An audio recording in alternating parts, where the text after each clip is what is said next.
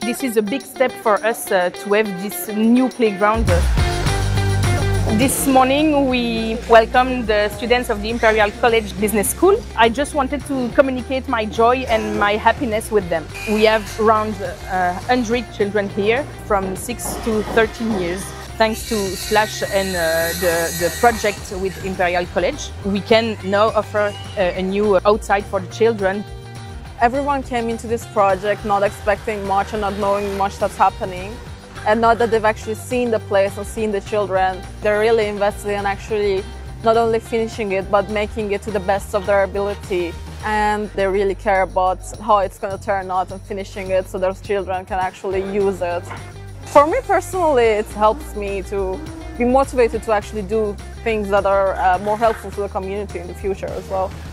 This class in itself hails from over 30 countries, so you can understand the diversity of that. Many of us haven't even been to Belgium before, so that's a new experience for us, and that's opened our eyes to the fact that we can have an impact anywhere in the world. I declare the football stadium open! And that's my main takeaway, which is that we shouldn't hesitate to explore new things, help more people, because the impact that we create is not about us, it's about them.